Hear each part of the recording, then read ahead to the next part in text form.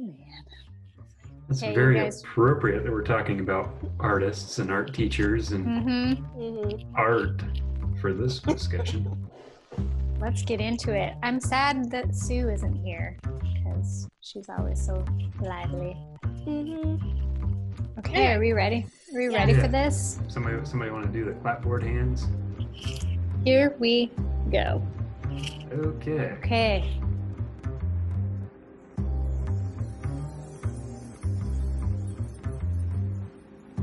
Our movie this week. Yes. What, what, Our what are we talking about? We watched a movie called Faces Places, which is a documentary style film um, by the 90 year old artist director Agnes Varda and her collaborator JR, who's a photographer and muralist, you might say. And um, they're kind of an unlikely pair, but they team up and travel through rural France and make art together and film the process. And um, it's just really heartwarming and a fun experience. And that was our pick, my pick this week. And let's see what what do we launch into right away? Feelings or Yeah, like um, overall impression. I will say that I was uh, immediately charmed by the illustration, like kind of the intro illustration. I don't know what that is, but like the same thing in Boy, where they have the, like the children's drawing, drawing like transitions. But like, I love it. Apparently, I'm just a sucker for that, so I really like that. And it did start off so good and i think my expectation was just to be like happily entertained and i feel like that that I'd was say- my experience yeah I'd say it definitely did that. Like it was, it was Mhm. just cute. I don't, I don't know. It was just fun and, like you say, heartwarming. Like it's just a very upbeat, positive um, movie, and it's just it's like a buddy comedy or slash road trip movie. That's a documentary um, about these two pretty different artists just traveling around France doing their thing. Um, it, it was I, I really enjoyed the experience. Like I, I enjoyed watching it. Like I, I liked the people. I liked the way they interacted. I liked the way it was all presented, and I Mhm. really liked what they were doing with with the art. So so I just learned this in my like research right before we started. The the backstory like for for both of these people because I, I didn't know who either of them were Mhm. um, when we we're watching the movie. Um, but JR is that's not his real name. That's a pseudonym. Um, he's a he's a he calls himself a photographer slash graffiti artist, and, and this is what he does. Like he takes photos of people and pastes them onto the sides of buildings and stuff. He's the guy who started the Inside Out project, um, which I don't, I don't know if you guys remember that. You remember a couple years ago here in Yakima when they pasted those big um, photos like of people's faces up on the sign of up on the side of Ron's coin and cork, coin, coin and book coin and book. Yeah. coin and book Is this Sorry. like, this uh, like he sells coins and wine? Because that no, would just cork, Cool. just like sheets of cork. for all your artist's needs Mhm. Yeah. Um, i remembered that project but not by name when you were mentioning Me the neither. movie. And then Yeah. I was, of course, thinking about that project as I was Yeah. watching. yeah. So, yeah. Nice. That's- but that's like he. So he's the one who came up with the idea and started it. He won the TED Prize, um, which is like a. At that point, it was a hundred thousand dollar prize for like the best idea, basically. Is that one Um, through TED Talk? Yeah, yeah, through Okay. the TED organization. Um, and so he won that, and that was what that was the money he used to start this this project. And and you know it was always took a hundred thousand dollars and he figured out how to get a giant printer in the side of his van yeah. drove around He's got multiple vans like that. Like there are a few of them around the world apparently. It was also Um, just so cute. it would look like a camera. yeah, I'm easily impressed by things. I loved it. Yeah, I the loved little, it in like, the opening camera. credits. Yeah. Um, I and was then like, to oh see my that God, it that's was a so real cute. thing. Yeah, Like, I are was you so kidding excited. Um, so Simple his- yeah. So so the inside out project is like basically exactly what we saw in this um, in this movie. Like it is uh taking photographs of people's faces like usually close-up photos close-up portraits and printing them on huge posters and pasting them on the side of buildings. Um it's it's people the faces are people who are local to the area um, and it's been used like this is a global project but it's been used in a lot of different ways depending on um, where where it is Mhm. it's been used in like venezuela it was used to um, like call attention to violence against women um, in Oh, cool. pakistan i think they i think what they did they pasted them on the roofs of buildings they pasted children's faces as a uh, like a statement against drone strikes um, Oh, very interesting. I didn't Yeah, know any of that. so so that's i mean that that's who jr is and like that's the backstory behind hmm like what they're doing in this movie it is a it, it's it, it's based on or stems from the inside out project so i yeah i had no idea who she was either i mean Mhm. Um and it was really interesting to read about her. She's a photographer i mean we picked up on that but she mainly or she's best known for being a director. And she she's considered the mother of french new wave. Um so she's like a really really well-known director um from Can't say that I've ever watched any French New Wave. yeah when i hear that all i think is jean-luc godard. Like that's and you know then he was mentioned several times in in this movie hmm um like that that's I thought it was cool. Um, I don't know much about new wave film, but I did see a little bit about her style where she just um, took all these photos and wanted them then to tell a story in film. And she wasn't like trained in um, making movies, but she just like went for it and put together movies and did things that were unique, like um, on-site filming, which was a challenge in the 50s. Instead of like being in somewhere where controlled sound and light, she was like actually on site doing new things and bringing in, I think, new actors that were like not um, well known, just kind of Mhm. random people that Try this thing with me. Okay. yeah. Let's get this done. hmm So, That did you have any? That I feel like that that kind of just like um mix of things really leads to innovation. So it makes sense. She's like the mother of a genre. Mm-hmm. yeah That's how it happens. yeah and she seemed she's just so cool like, in, in this documentary like she's just the way she handles everything that happens um, Mhm. um, yeah one of my favorite um, and yes moments is when there's um, one uh, one man i think it's when they're doing the train the train of her like toes and her Mhm. eye and then that man is like why why why do this and i just loved her calm explanation um, and i can't even remember a lot of her words but she just had such a like take time to talk about art with this man Mhm. that i really liked the interview aspect of this whole film was so interesting and but i do kind of count this one up to just like cultural differences between like just the way french people interact versus like what is american considered polite in america because um like one of, one of the notes i took is just like i love how the people she interviewed asked her questions too or like something that would be so like rude to him is like why are you doing this like, yeah like, very the- rude what to is an this? American, but like in a French, it was it was not taken that way, obviously. So the cultural difference, but I liked, I liked that it it felt more engaged for them. You know, there there weren't just like pieces to use in these art installations. They were engaged and interested and invested. yeah like Mhm. active participants Mm-hmm. and then like everybody who like like so JR and Agnes come rolling into your town and like slap a bunch of huge photos up on your buildings and, Mm-hmm. and like everybody is super into it. Which again, you know, it's like this is what they're the ones making the documentary, so Yeah.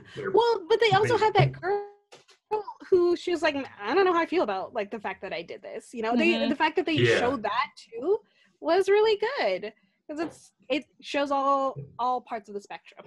while, while her kids are taking selfies in front of it. And yeah, tickling her toes. Yeah. tickle, tickle, tickle. Oh, that's so great. I really loved one of the early profiles, Janine, the miner's daughter. I thought she just seemed like so into it. Like hmm there's like the scene where they're rolling by and she's standing out on her step and I can't remember if she's reading something, but she's just so into it and posing um, with like the lace. Uh, Yes, when they was drape it over her. yeah. Her little. um, and her story was cool. I liked the kind of historical part to that, where then there are all these community members coming out and talking about what they remember of their dads in the mines, and um, that it seemed like a really a real source of pride for people to see the miners and kind of remember that history Mhm. and then Janine is just so cool that she's like, I'm the last one. I'm going to stay here. And um, Um, I love that would- story. Yeah, when she stepped out too and saw, it's like, oh, damn. Yes. Walks across the street, turns around, and whoa. Which I can. Yeah. It was huge. It was, a it was- huge face on the entire I was wall. very, very impressed with their pace. I don't know. I don't know what it is. Like he's pasting the work up. Like um, it seems so natural. Almost as soon as it was done, it looked like it had already it had been there for years. You know, Yeah. like, it it's was- just right. Meant to be there. You know. Mhm. So I was I was very taken with that entire aspect of it too. you know, like Wonder- and make that go paste. Okay. The gross part was definitely the eye part. Oh, Oh my my god. God. That was so Ooh. such a surprise. I was like, oh my goodness. I did not mind like watching her get stuck with a needle. Oh, I have a story to tell you guys later. I Uh, did. that explains it. and then but, when they um, spliced in The the, slice. Ooh. Oh, ho, ho. Like I did mean It to think, bad. you know what? The movie did distract me enough from the rest of like I kind of forgot about it until you mentioned it again. Yeah, I was gonna look up to see how they did that so I could like calm myself down. Because that was ooh, visceral. I did like that they brought in because that kind of that was a chapter it felt like where they were talking about um, her body failing like her eyes the Mhm. shaky letters that they put out in the stadium and then she makes them shake to represent what she's experiencing i thought that was a cool um, just like exploration of what it must be like as you get older and the way you've always expressed yourself kind of has to change but then she finds a way to still do it like teaming up with jr um, Mhm. and even she's talking about like taking the pictures of the fish and it's blurry she can't totally see um, but she's still making art I, there was something really inspiring about that and i liked the reality of just dealing with things like your body failing yeah, not glossing over it or trying to Mhm. hide or ignore the fact that her eyes are are going. Mhm. and yet they're still doing like such the whole theme of the movie is just so positive and their all of their art is so positive and um, it was nice to have both of those pieces but there was definitely a happy feeling for me even despite the struggle Yeah, I I agree. Um, I will say that like, you know, the very the second note that I took, you can tell when I take notes because then I will actually refer to my notes. uh, the second note I did take is like like right after the illustrations that when they were talking about like kind of why they were doing this project, um, and just like right off the bat, it like I already almost started tearing up because like the whole aim of theirs is just another like kind of extension of connection like they're trying like she's really trying to form these connections with people. And i think like right now in the midst of isolation too it's just like something that is so especially poignant where i'm just like oh connecting like Yeah. people. Storytelling sharing these experiences. It's uh it was i think that is that is kind of like what like my the main positive that i took that i took away from it just because i think that is also something so that i so desperately need apparently Yeah. Yeah, like I completely agree with you. Like I feel so isolated from just the people around. Not the, not the people I know, you know, not my Mhm. friends, but just like driving down the street. You know, it's like I I feel so separated from the other people in car. You know, just just the random people around me. And this like this movie is about connecting with the random people ar- around you. Mhm. I also really liked the um, the factory workers. I think that was another cool example of connection where all these people work the same factory, but they might be on different shifts. And so I thought that was fun that they all come together. That was one where I really liked the end product, like of all Mhm. their hands like reaching together. Yeah. And that was a cool um, example of connection to me too. All the different pieces of that team. It's kind of ironic, but I think my absolute favorite of all the installations was the very first one with the bread. Like the the one long line of bread with like everybody biting into it. Like that I don't something about that image on the on when they pasted all the photos up on the wall. Like that one just got me. Like I just I just loved it. What did you guys think of the end when they try to go see um, Godard and then he shows them up and then they sit at the lakeside? The the not being able to see Godard was weird. Like, and I couldn't I couldn't quite figure out what to make of it because it it all felt a little bit staged. Yeah. Um, but I'm not I'm not sure that I'm not sure that it was. I don't- have any reason to think that it was. It just it felt that way a little bit. I agree. Uh, it did feel very staged, but throughout this entire thing, and they do like credits. Like part of this was written by, so some of their state their conversations that were kind of presented as candid were obviously scripted, Right. which I mean it doesn't bother me. It's not bad. Um, but so I agree that it felt staged. Like I don't know, that could have been a genuine interaction with Jean Luc Godard but I don't know. But also, they are very much they keep foreshadowing the fact that she wants JR to remove his glasses at the end, and then he does. And I was like, this was a very clear setup. Yeah. Yeah, yeah. and I was like, I don't was- know. yeah, the, that was the- absolutely scripted. I guess I don't know what kind of ending, what the dream ending would have been for this movie. And so yeah. it's, it was a little, like a little too cutesy. Mhm. and it's funny because Agnes talks about like she wanted random, unplanned interactions. She wanted to leave some things to chance, but then that did the ending felt so planned out, and it it didn't um, connect with me the way the rest of their art did. Um, but then I'm like, well, I mean, how else would you end it? And if you want Yeah. this cute little scripted I- ending, that's cool Yeah. too. But I will say that she did seem genuinely very nervous about seeing him again.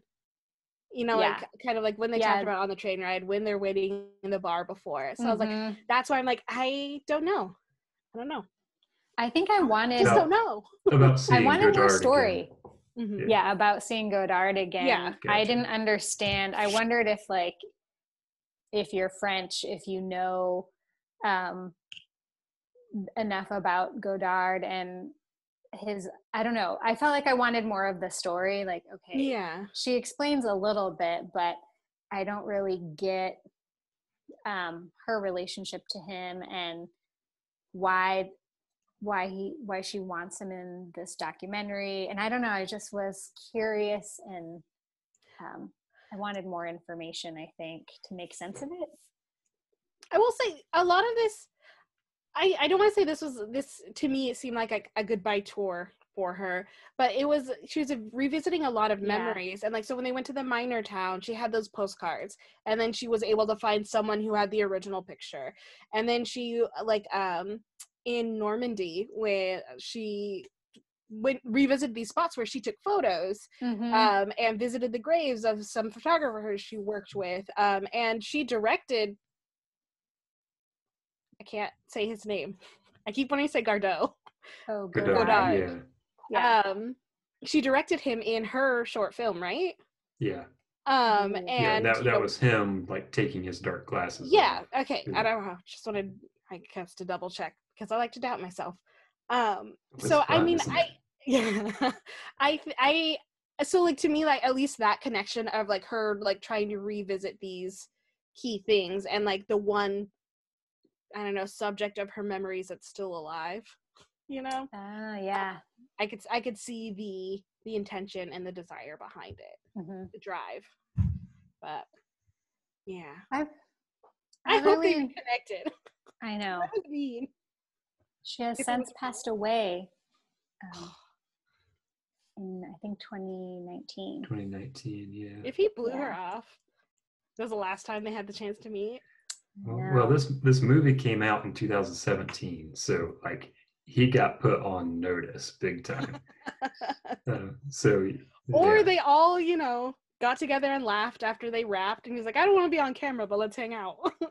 Yeah. I see you brought me some brioche. yeah. this was such a fun documentary style film Mhm. but I feel like it is a definitely a different feel than the documentaries I've seen screened at Sagebrush before, where there, I want to say there, it almost feels like there's no point. Like there's kind of that ephemeral quality, the same way that the art is maybe there one day and gone the next, and then there's there's no um i would say there doesn't feel like there's a an overarching um, message. yeah or- message Yeah. but i i just think it's so positive and um i i would screen it at a film festival um would do you guys feel that same way that it it's missing like a a message or that's kind of beside the point and then would you screen it at sagebrush I Morgan, Morgan, you go ahead. I've, I've got thoughts on this, but I want to hear what you. Okay. Um, I would screen it. Um, I think the the kind of poignant could like run through theme of connection is relevant enough today that Hmm. I would want to screen it because it did leave me feeling uplifted and like even if I you know you can't go out and experience those connections right now it's it's almost a reminder it's like hey no it is still possible remember people do do this mm-hmm. So like kind of on that alone i would want to screen it. But for me watching this like i want to get out and like create. I want to like you know go take photos or totally legally put up we you know posters with we paint somewhere. Yes. Legally of course. It's not street art or whatever. Anyway um like Is, it, it- is there a way to legally do it, or is it ever legal? it's it's it's the you're not supposed to put up posters without permit you know post no Okay. bill kind of thing. Anyway um like it it it makes me want to go out and create. Um and i i to me that's enough. It's like we are for the film festival it's like we want to screen it's like we want to have this conversation. I would argue that creating art is a conversation you know? So even if um I, I do think that there is enough to this movie that we would be able to have a conversation about it like in the moment but the fact that too it has the potential to like get people out there and doing Mhm. i think i think that counts so i'm a yes I like it. Clayton, yeah, what do you think? I, I like what Morgan was saying. I so my my my takeaway after watching it was no was a no. Um, just because of like you were saying, Rach, like there it's Mhm. it's a very enjoyable experience. It's fun to watch, but I just I didn't come away from come away from it with a like a clear theme or message or um you know call to action as as cliche as that is um and, and so i just I, I just have a hard time figuring out where and how to present it but it's not it's not that it doesn't have merit. I mean it's it's fantastic and this it's um, extremely well regarded. Like i'm genuinely surprised by by how um, highly rated and re- well Mhm. reviewed and it was nominated for an oscar in 2017 when it came out um, i'm genuinely a little surprised by that um, but not i don't think that it doesn't deserve it. It just uh, for for me it's uh, it's just kind of static weirdly enough for a for for a road trip documentary. Um it's i yeah i think it's that it's that lack of a central um moving message. And, Yeah. and maybe that's just me like not not getting the message. Um that's i say that's I- very a very real possibility and i really do like what you say morgan about just the the connection. Um the connecting with people being a strong enough message because that that did resonate with me and i um i could see that that would be something that we could we could take and really build on Mhm. I feel almost right in between you guys because my brain had similar um, reactions as Clayton, where I was looking for like, what's the main idea here? But then Morgan, your argument was so made so much sense, and I actually I had a fun time just imagining a docs screening of this where then there are guest art local artists like we would we have so much connection with local artists and larson gallery like it would just be a cool um, organic uh, collaboration. Um, and my brain just immediately clicked through those things. Started And. I, yeah, started planning. I guess it would kind of depend. In the past, we've had kind of a theme for um, the film festival, like people making change in their community.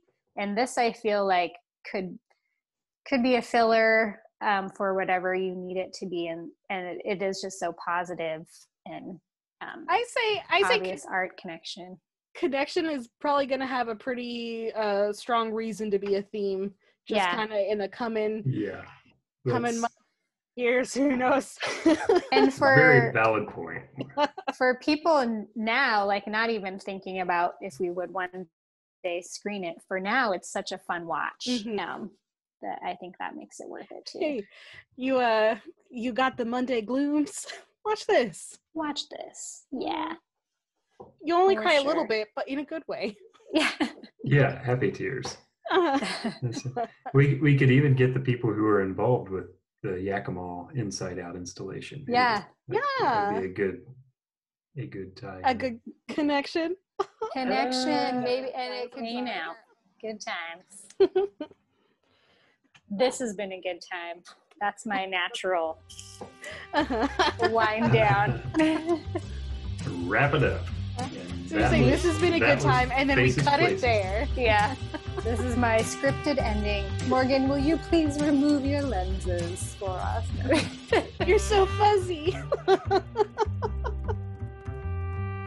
Uh, but that was good. It was yeah, good. thank